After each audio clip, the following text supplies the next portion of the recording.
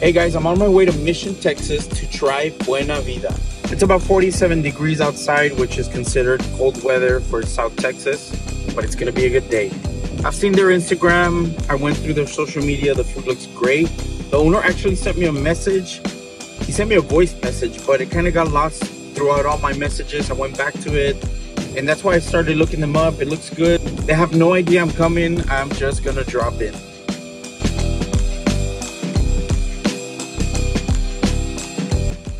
So that's the place right there. It's a bit hidden. Uh, this plaza I'm in, that's Shary Road over there. So it's a pretty busy road. So you actually have to come and drive in here to know this plaza is here because I'd never heard of it. Actually looks fairly new. The shop's on first. I think the owner said they used to be called Cocinita, which is a spot I've tried before. And I believe he said they were featured by Texas Monthly, so, it's gotta be good. Hello guys, this is Evan Garcia with Buena Vida Mexican Cuisine. Just want to give you guys an invite. We have innovative style in our cuisine. It's uh, global food with a Mexican twist. I uh, hope you guys can come give us a try. I promise you'll enjoy it. Well, I, I, used to travel the world for like 12, 13 years. I used to work for uh, Chevron. I was a shutdown specialist. So every time I would go anywhere, go to South Africa, Australia, anywhere, I'd go eat, try different cuisines, different uh, peri peri chicken styles. Uh, that's how I learned how to put papaya on the fajita and stuff like that. So I just bought a bit of that over here. Like when I was in Portugal, I learned how to do a pulpo pastor, but the pulpo estilo Galilea, then we put our pastora sauce on there. So just make it a little different. How many years have you been in the, in the food industry? Uh, about going on my third year right now. How's your journey been so far? It's been fun. You meet a lot of cool people. You uh, meet a lot of people that give you inspiration to try to be better, do better. And uh, overall, it's been it's been great. Like I just love it. I love to interact people. Like to socialize. So, uh, we came out on Texas Monthly last year. Uh, we're uh, former Alias. Uh, that was one of my proudest moments, to be honest, because I was able to shed light on who we really are. Um, it really motivated us to do even better and try to be better. So that's really why we came over here and own Brick and Mortar, have a little standalone, so we can have the freedom to do what we want, to be able to serve people what we feel is good Everybody's been giving me a lot of accolades on that. They've been loving the food a lot. Um, I love getting that feedback because it lets me know what I'm doing right, what I'm doing wrong, so I can do better and be better. But uh, so far, everybody's been loving it, and I'm very grateful for y'all to come giving us a try. For everyone that's been coming, giving us an opportunity, I'm very grateful. Thank you, and I'm glad we were able to show you guys a different style of Mexican cuisine. Okay, so I sat down and they quickly brought me the menu, and they have all kinds of stuff different antojitos, different plates it made it really hard to pick because everything looked so good. As you can see, they have a kids menu.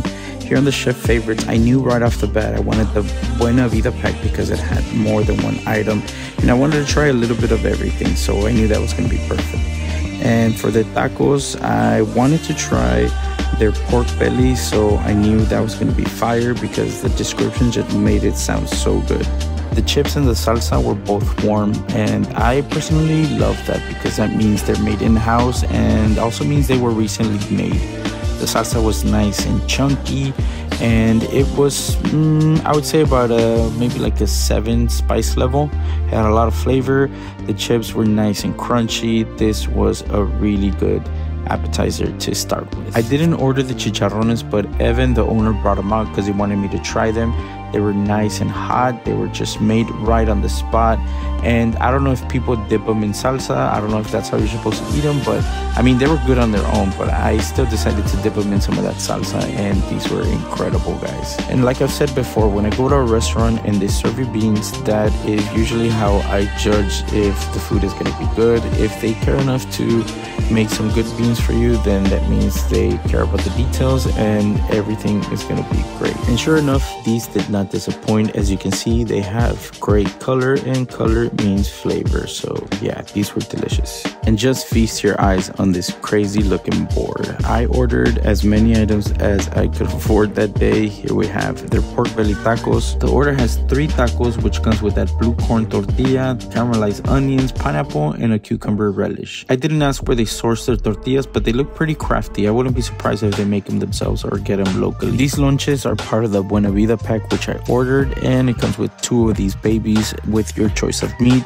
I went with some al pastor because that whole week I had just been craving al pastor tacos. So lonches are something people are super picky with because a lot of places don't know how to make them. But rest assured, these are great. You'll enjoy them. Also, with the Buena Vida pack, you get two tacos again with your choice of meat. And once again, I went with al pastor. And man, these were amazing. The salsas are so good. I think you can't go wrong with whichever one you try. They were delicious. I really enjoyed my tacos. And I don't know, I was just in an al pastor mode that I even ordered that as my meat for my sincronizada, which had a really good tortilla de harina. I don't regret getting this and I really recommend it, especially if it's your first time coming here and you want to get a taste of what the restaurant is all about. And this is their version of a Mexican burger. As you can see, it's got a cheese crust. The patty is a tri blend of brisket, chuck, and ribs. It has fajita, bacon. It had a chipotle aioli and some grilled onions. And man this thing was huge it was such a beast i only took a few bites. It also comes with some fries. The fries were pretty fire as well and you get the option to build your own burger so definitely check that out. And just when i thought it was done evan brought me out a taco that's it's actually an off the menu taco so i was pretty surprised. You can see right there i'm like oh what is this? It actually looked super good. It had fajitas it had shrimp some cheese all on a flour tortilla. I don't even know what they call this taco or if it's even on the menu already but if you're there and you want to try it i would just show them the video and tell them i want this taco. I'm sure they'll make it for you. and last but not least, I also got to try some dessert. This is a protein peanut butter and jelly French toast. And man, this was light, it was sweet, it was the perfect way to end the evening. I recommend this 100%. The food was amazing, everything was incredible. They're really putting their own twists um, on everything here. And man, it was a great experience. You guys have to come check this out. Buena Vida in Mission, Texas.